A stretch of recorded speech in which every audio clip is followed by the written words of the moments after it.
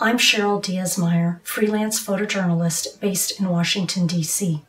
My project on the World War II sex slaves of the Philippines was produced with National Public Radio and with the generous support of the Pulitzer Center on Crisis Reporting and the Yunghi Kim Grant. My heartfelt thanks to NPR's amazing visual team, Nicole Werbeck, Keith Jenkins, and Ben Cruz, to Manila Bureau Chief Julie McCarthy and producer Ella to the countless others at NPR who helped make this project a success, to the fixers and translators in the field. I want to thank my husband, Kenneth Manning, and my daughter, Isabel, for their eternal patience as I journeyed into the past to learn about the horrific history of my motherland. Their ongoing and consistent love and support gave me the fortitude to produce this work.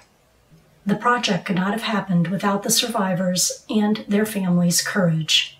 I am deeply humbled and grateful for their trust in allowing me to visually translate their stories.